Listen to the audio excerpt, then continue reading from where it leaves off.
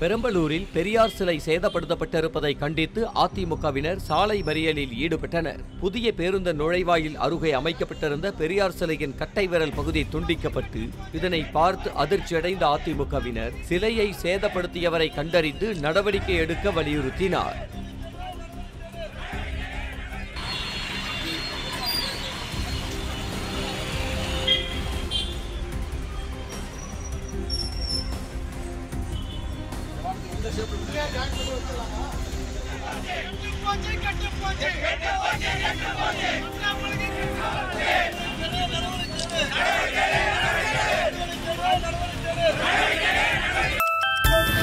செய்திகள் நூறு. நாள்தோறும் காலை ஆறு பத்து மணிக்கு மற்றும் இரவு ஒன்பது மணிக்கு நமது நியூஸ் தமிழ் தொலைக்காட்சியில் காண தவறாதீர்கள்.